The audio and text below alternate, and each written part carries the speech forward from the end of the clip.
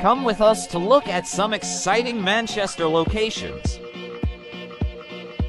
First up, Ring Church. Whoa, it's a huge space. Don't think we'll be confessing our sins here anytime soon. Thanks, but no thanks, Ring Church. Next stop, pizza. If you haven't had Rudy's Pizza, get to know Rudy's Pizza. Then we headed over to the stables. It was okay, but not for us.